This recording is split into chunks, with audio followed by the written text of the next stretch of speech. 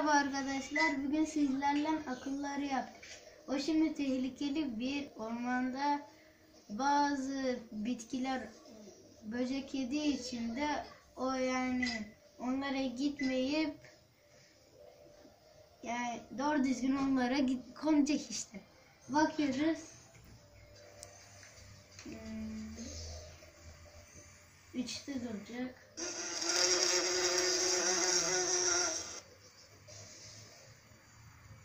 İki de duracak. Bitti. Sempati.